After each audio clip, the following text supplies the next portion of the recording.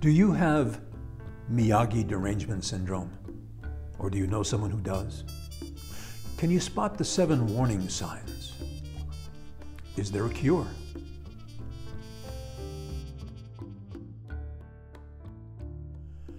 I don't watch much television.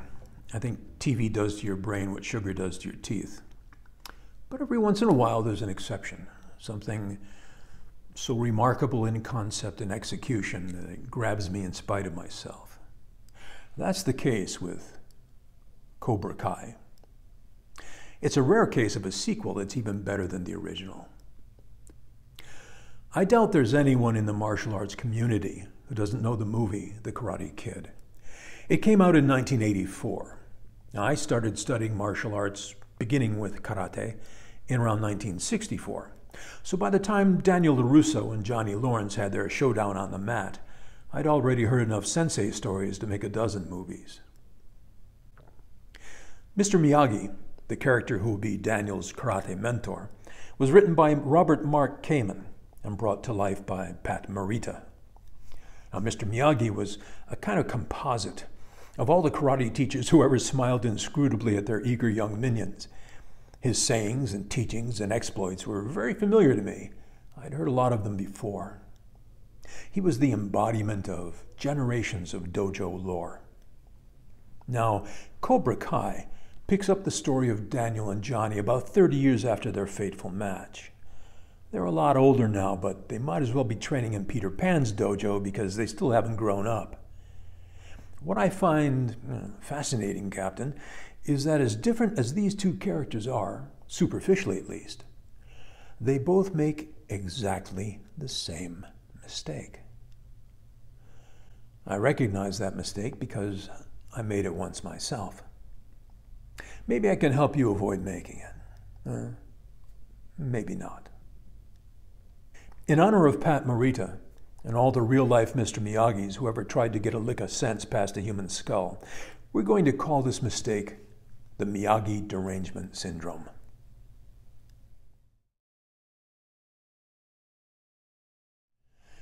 Look, there's nothing wrong with respecting your sensei, your, your fencing master, your teacher. You should respect them. A good teacher can be like a life jacket when you're tossed upon cloudy seas. But like any other strength, respect, taken to an extreme, can become a weakness. When respect crosses the line, you're in a completely different state and your idea is no good there. Just where is that line? I would submit that it's the line between respect and worship. It's where you start being driven by emotion instead of being ruled by reason. It's where your teacher stops being a life jacket, starts being an anchor.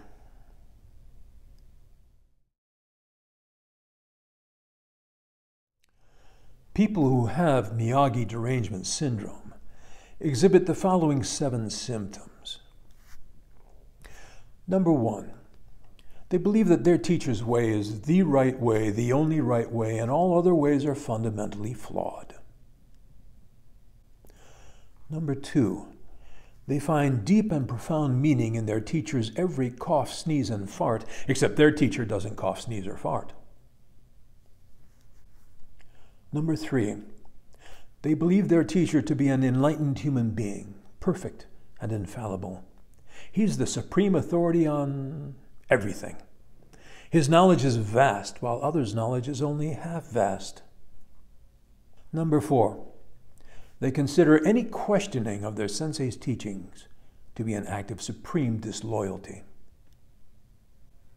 Number five, they regard their fellow followers of their teacher as good, pure, intelligent, and moral, and all others as evil, tainted, stupid, and corrupt, or at the very best, misguided. Number six, they summarily dismiss any and all evidence contrary to these beliefs because any contradiction must be, by definition, biased, cherry picking, inaccurate, irrelevant, out of context, or fake news. You know, any stigma to beat a dogma. Number seven, they don't just want to follow their teacher, they want to be him. They quite often imitate the master, the way he stands, the way he walks, the way he speaks. Here's a quick side story. I knew this here guy, see. He talked like this here. I think he might have been from Jersey. But when he counted in, in the dojo, you know, he sounded like Ich, Ni, San, Chi, Go, Rok, Shich, Hash. Fascinating, Captain.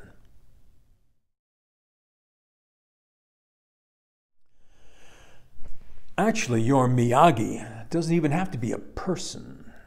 You can Miyagify most anything, and, and people have. In one common variation of MDS, the Miyagi isn't a human being, but a book, a sacred book. Human beings age and grow. They learn, reflect, and sometimes change their opinions. But a book?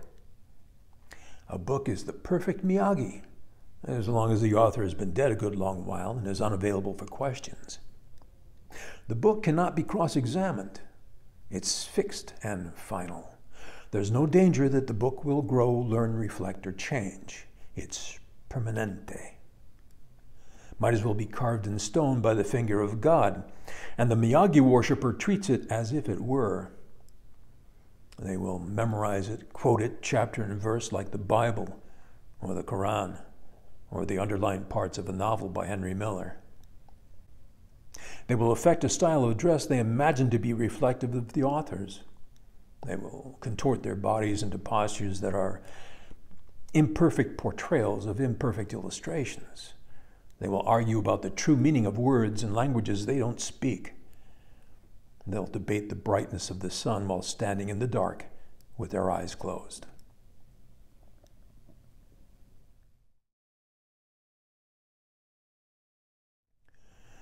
Miyagi derangement syndrome can be a recurring malaise like herpes or malaria or the blues or voting.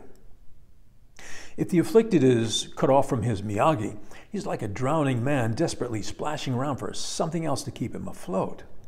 Another Miyagi. The MDS victim will transfer his delusion to his new teacher. Since MDS is a zero sum psychosis, the afflicted must repudiate his old teacher as part of the process of deifying his new teacher. The God of the old religion becomes the devil of the new religion the MDS victim replaces old false true teachings with new true true teachings. This replacement can happen more than once.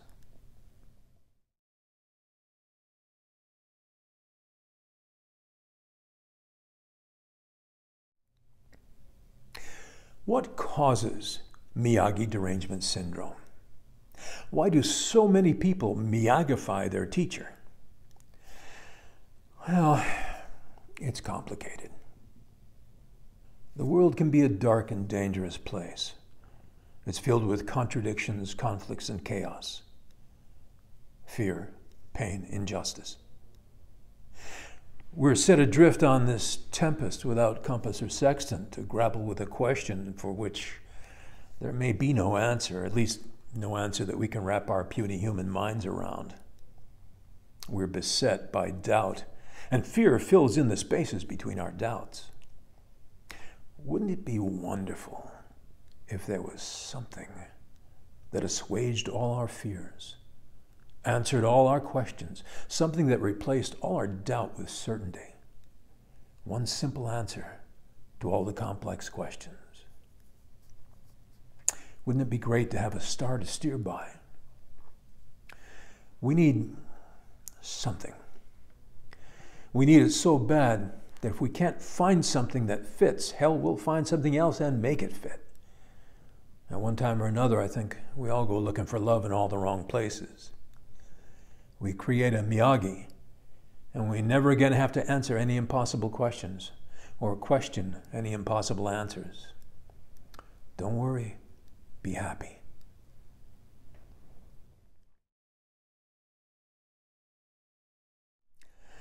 So you were pretty sure that you were on the one true path to enlightenment, but now you're wondering if maybe you got in the wrong lane, missed your exit, and now you're stuck on the expressway to hell.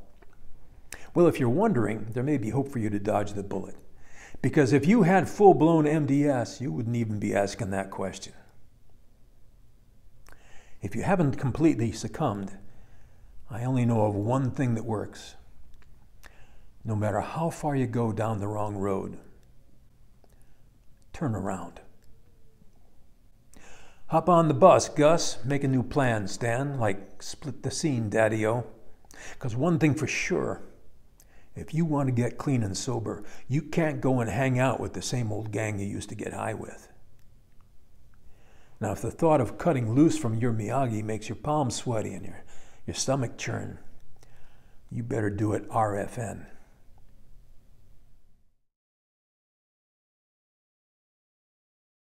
Miyagification is driven by emotion, not guided by reason. That's why you can't fix it with an intervention, no matter how much data or evidence or conclusive proof you may present.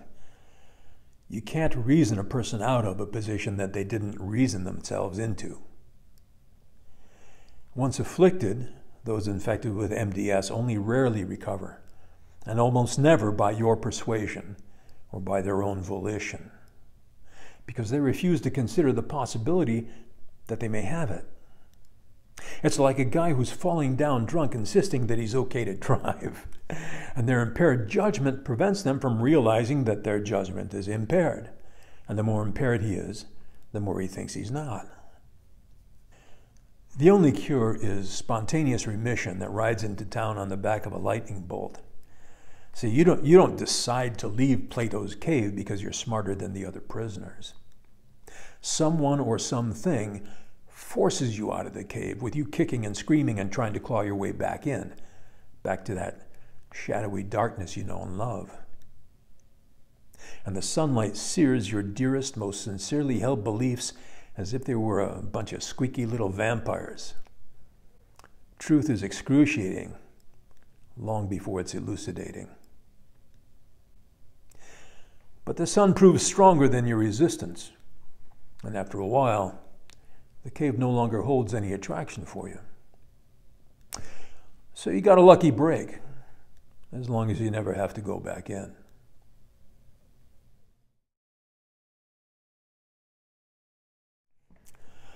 As with so many things, an ounce of prevention is worth a metric fuck ton of cure as part of the fiduciary relationship I have with my students, it's my responsibility to do everything I can to make sure my students don't Miyagify me. And if I do it right, they won't Miyagify anybody else either.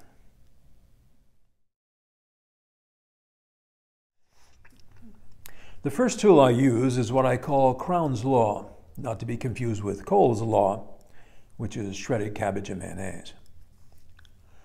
Crown's law says this never let anybody else do your thinking for you, and that includes me. No matter what the question might be, the one answer that will always be wrong is because the Master said so. I don't just teach you what to do and how to do it. I teach you why we do it that way. Everything we do has a reason. I want you to know that reason. I want you to know it for an absolute fact. And I'll set things up so you can experience it, feel it, know the truth of it for yourself, beyond any doubt. You'll know it's true because you experience the truth of it, not just because I say it's true.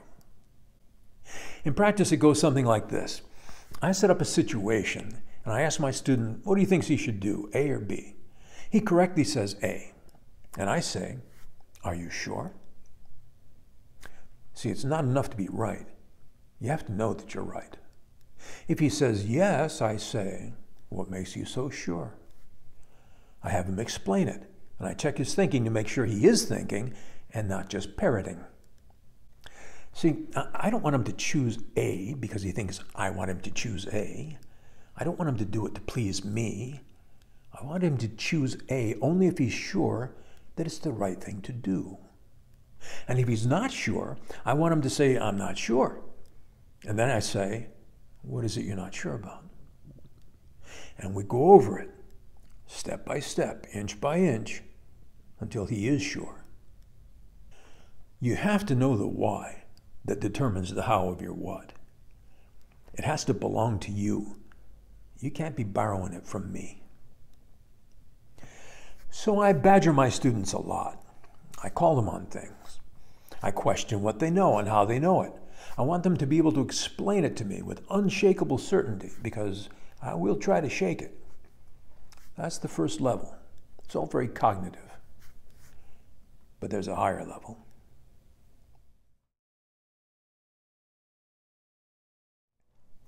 Now, this is only for advanced students. You, you can't do this with somebody who doesn't know anything yet. I do this when you know some things about technique, tactics, strategy. This is when I know that you know the why behind the how of the what. And then I test you. I'll set up a situation for which the correct response is A. Now, you know it's A. You've done it a thousand times, you've explained it a hundred times. There's no doubt in your mind that the right, true, and correct response is A. You know it's A, and I know you know it's A. But I ask you to do B instead. And B doesn't work because B is the wrong response. Now, at that point, at that point, my student has two choices. They can act in accordance with what they know to be true from their own direct experience and knowledge, or they can do what I tell them to do. The correct thing to do is option one. Now, most people need a little help getting there, and that's part of my job too. They get confused, they get frustrated, they get angry, but we work through it. Sometimes there's some shouting involved. There may be some swearing. Sometimes there's even a little crying. Sometimes it takes a while. We take whatever time it takes. But eventually they get it. They tap into the strength and courage and integrity that they have. And finally, well, they basically tell me to go fuck myself. and in that moment, I think they're completely bewildered that I seem so happy to hear that. They probably don't expect me to say that I'm proud of them. But once they get it, once they decide to go with the truth that they know and not back down, no matter how I insist, no matter how severely I badger them, then they're starting to develop MDS immunity. After that, I'll occasionally give them a booster. I may give the verbal cue, disengage, but I'll give the physical cue for straight attack when there's a conflict between what I say and reality, they should go with reality. They should always go with their sense and senses. They should act in accordance with what's really happening and not just mindlessly assume that whatever I say is going to be true and correct. I sometimes call this Marvin's Law believe half of what you see and none of what you hear. Put your trust in no one but yourself. And don't be too sure about yourself.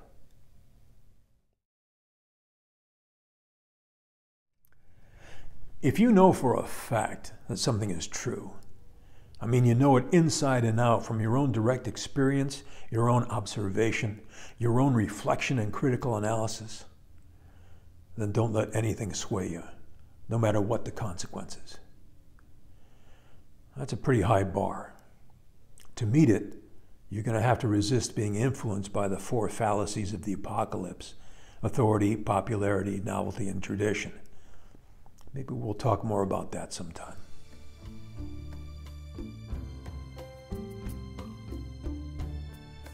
But Mr. Miyagi was not a perfect human being.